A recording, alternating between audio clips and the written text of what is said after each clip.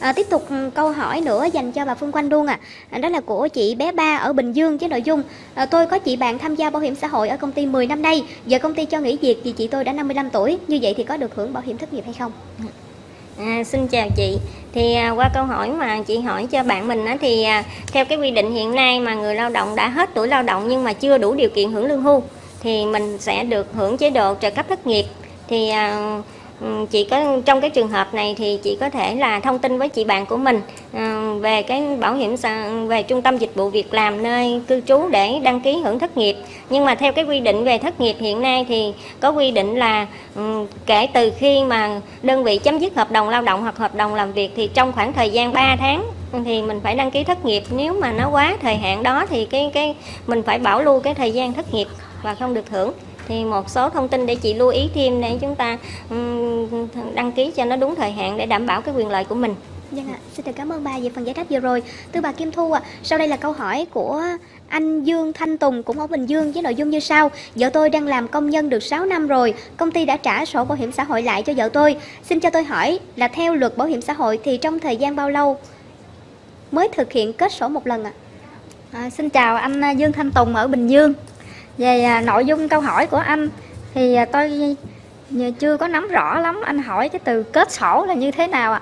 Tại vì là vợ anh làm và đã được trả sổ bảo hiểm xã hội, đóng được ừ, 6 năm. Công ty đã trả sổ bảo hiểm lại cho vợ tôi à, thì khi mà trả lại cái sổ bảo hiểm xã hội đó thì tại bảo hiểm xã hội tỉnh Bình Dương đã thực hiện xác nhận cái thời gian trên sổ của anh. Tôi gọi một cái từ cho nó dễ hiểu là chốt sổ bảo hiểm xã hội để tính tổng thời gian cho anh cho vợ anh là 6 năm. Như vậy thì à, khi mà đã trả cái sổ và đã có chốt thì cái sổ đó coi như là đã hoàn chỉnh à, không phải à, chốt thêm gì nữa. À, anh dùng cái từ là kết sổ lại thì tôi chưa hiểu lắm. À, khi mà anh đi muốn hưởng sau 12 tháng kể từ khi nghỉ việc nếu vợ anh có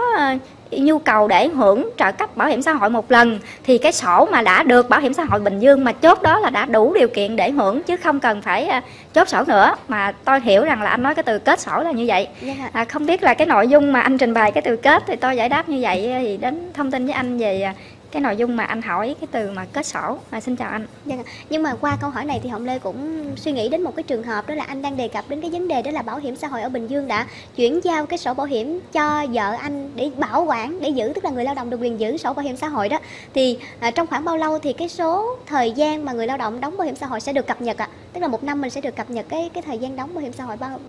bao bao lâu một lần á à? À, về cái trường hợp mà Hồng Lê nói thì nó lại khác với cái của anh Tùng. Là cái quá trình đóng bảo hiểm xã hội của mình thì à, được cơ quan bảo hiểm xã hội là cập nhật liên tục trong cái chương trình quản lý. Và hết một năm thì đầu quý 1 của năm sau cơ quan bảo hiểm xã hội sẽ tiến hành in cái tờ rời cái tờ rời đó là nó có thể hiện cái quá trình của năm trước đó của người lao động và tờ rời đó sẽ được chuyển giao cho người lao động sau à, cái quý 1 của năm sau tức là trong cái tờ rời đó nó sẽ có đầy đủ thông tin là thu nhập mức lương và mức đóng đúng không ạ? À, không phải là thu nhập ạ, mà là thể hiện cái mức đóng bảo hiểm xã hội của cái người lao động còn thu nhập thì à, à, trên tờ rời đó không thể hiện chỉ yeah. Dạ. thể hiện cái mức đóng của cái người lao động à, mà đã đóng bảo hiểm xã hội cho cơ quan bảo hiểm xã hội xin được cảm ơn bà vì những thông tin vừa rồi. Tiếp tục một câu hỏi dành cho bà Phương Quanh ạ. À, của chị Hoa ở phường 1 thành phố Sa Đéc với nội dung tôi là cán bộ cấp xã thời gian đóng bảo hiểm xã hội là 12 năm. Đến tháng 5 năm 2018 thì tôi hết tuổi lao động. Thì à, tôi sẽ được hưởng chế độ như thế nào? Nếu mà muốn tiếp tục đóng bảo hiểm để được hưởng lương hưu thì mức đóng như thế nào À, xin chào chị Hoa thì à, qua câu hỏi của chị tôi có một số ý trao đổi như thế này thì theo cái quy định hiện nay thì người lao động mà đã hết tuổi lao động và có thời gian đóng bảo hiểm xã hội dưới 20 năm và không tiếp tục tham gia bảo hiểm xã hội tự nguyện thì sẽ được hưởng hưởng bảo hiểm xã hội một lần. Và trong cái trường hợp của chị thì thì chị nếu mà chị có nguyện vọng tiếp tục tham gia bảo hiểm xã hội tự nguyện để mà mình đủ điều kiện hưởng lương hưu thì thì chị có thể tham gia tiếp bảo hiểm xã hội tự nguyện thì cái mức quy định hiện nay đó là hồi nãy có trao đổi ngay chỗ cái trường hợp của anh Thành đó, có nghĩa là ờ, cái mức để mình được quyền lựa chọn là mức thấp nhất thì bằng chuẩn hộ nghèo của nông thôn và mức cao nhất thì không quá 20 lần mức lương cơ sở thì trong cái khoảng mức đó thì mình có sẽ, sẽ lựa chọn cái mức thu nhập nào đó phù hợp với của mình để mình đóng và bằng cho nó phù hợp với hoàn cảnh kinh tế của mình. Và trong cái từ đầu chương trình cũng có nêu thêm là đối với trường hợp mà người lao động mà đã hết tuổi lao động mà trong trường hợp chị đã 55 tuổi mà nếu chị có nguyện vọng tiếp tục tham gia bảo hiểm xã hội tự nguyện thì nếu mà chị Hoa có nguyện vọng mà đóng một lần cho những năm còn thiếu thì thì chị sẽ được hưởng lương hưu của tháng liền kề thì à, cụ thể thí dụ như hiện nay là chị đang thiếu là 8 năm nữa để đủ 20 năm tại vì chị có 12 năm tham gia thì nếu mà chị tham gia tiếp tục 8 năm và chị lựa chọn cái mức cụ thể và chị đóng một lần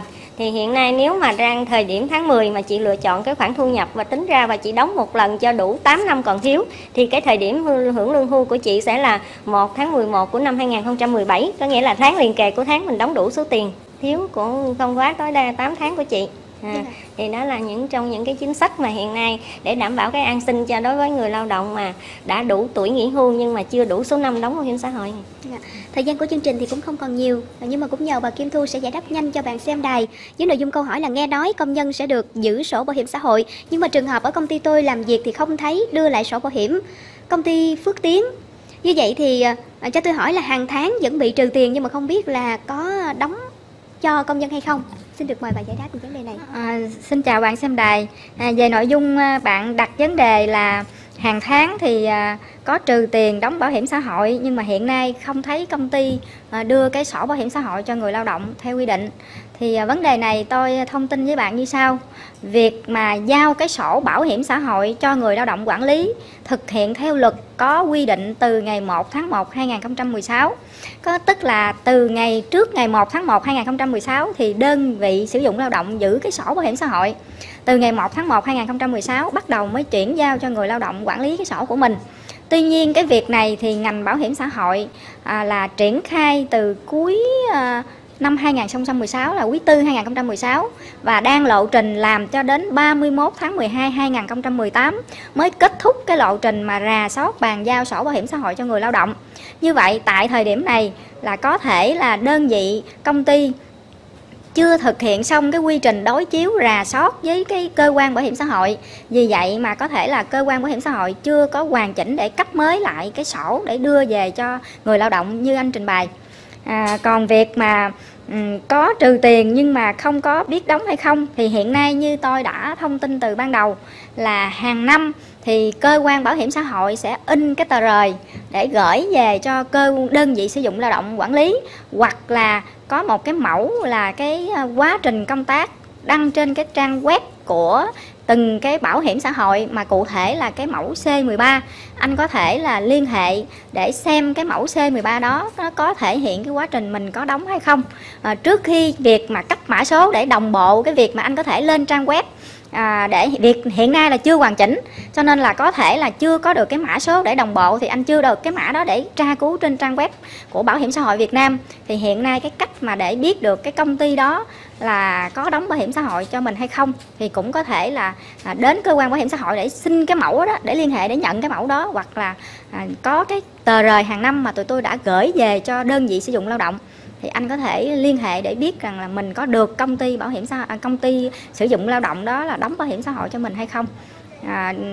trong quá trình mà từ đây cho đến hết năm 2017 và đến cuối năm 2018 thì hai cái việc làm song song là vừa cách hoàn thành mã số bảo hiểm xã hội và rà soát bàn giao sổ bảo hiểm xã hội cho người lao động sẽ hoàn thành. Thì lúc đó anh rất có nhiều cơ hội để tiếp cận được và biết được của mình là đóng hay không đóng dạ. à, hiện tại thì tôi chỉ tư vấn cho anh những cái giải pháp để anh biết được là công ty có đóng cho mình hay không và xin cảm ơn anh đã quan tâm về lĩnh vực bảo hiểm xã hội Nhân này xin được cảm ơn phần à, thông tin vừa rồi của bà. Quý vị và các bạn thân mến, à, những thông tin tư vấn của bà Kim Thu vừa rồi cũng đã khép lại chương trình đồng hành cùng nhân dân ngày hôm nay. Và chúng tôi hy vọng rằng với chủ đề này thì à, qua những cái thông tin từ các vị diễn giả cũng đã à, giải đáp được những cái thắc mắc của quý vị và các bạn liên quan đến những thay đổi về bảo hiểm xã hội từ năm 2018. Và cũng xin được cảm ơn các vị diễn giả đã dành thời gian tham gia chương trình. Xin được cảm ơn bà Nguyễn Thị Kim Thu, trưởng phòng cấp sổ thẻ bảo hiểm xã hội Đồng Tháp.